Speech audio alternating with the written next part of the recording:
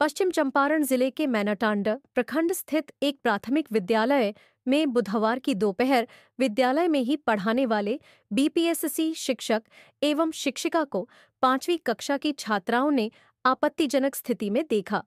छुट्टी के बाद छात्राएँ घर गईं और अभिभावकों को शिक्षक और शिक्षिका की हरकत की जानकारी दी। मामले की जानकारी के बाद अभिभावकों में आक्रोश पैदा हो गया, क्योंकि स्कूल बंद हो चुका था। और सभी शिक्षक अपने घर चले गए थे, इसीलिए गुरुवार की सुबह में स्कूल खुलते ही करीब 10 बजे के आसपास दर्जनों अभिभावक स्कूल पहुँच गए और शिक्षक एवं शिक्षिका की अश्लील हरकत की जानकारी प्रधानाध्यापक को दी।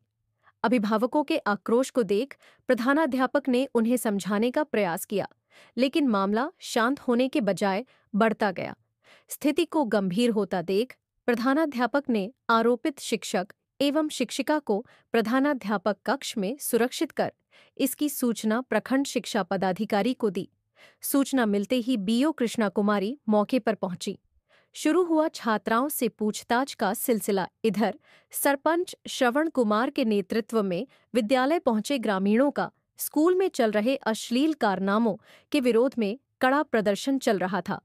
मौके पर पहुँची बीओ ने पहले आक्रोशित ग्रामीणों को शांत कराया। बीईओ के साथ पहुँचे बीआरपी बिहारी राम, एमडीएम प्रभारी शशि कुमार और लेखपाल निर्भय कुमार ने मामले की जाँच की। वर्ग कक्ष में बुलाकर छात्राओं से पूछताछ का सिलसिला शुरू हुआ। छात्राओं ने बताया कि बुधवार की दोपहर में मिड डे मील खाने के बाद सभी बच्चे बाहर खेल रहे थे। इसी दौरान पांचवी कक्षा की छात्राएँ जब वर्ग कक्ष में आईं तो बीपीएससी शिक्षक और शिक्षिका को आपत्तिजनक स्थिति में देखकर वापस लौट गईं। जाँच में हुई आरोप के सत्य होने की पुष्टिमा मल्ले में बीओ ने बताया कि जाँच में आरोप सत्य पाया गया है। शिक्षा के मंदिर में अनुशासनहीनता को बर्दाश्त नहीं किया जाएगा।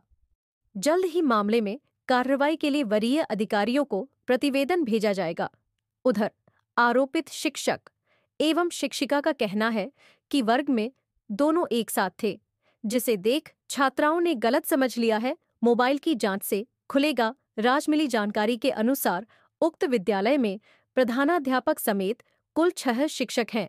चार शिक्षक नियोजित हैं और एक शिक्षक एवं शिक्षिका की पदस्थापना बीपीएससी से 2023 में हुई है।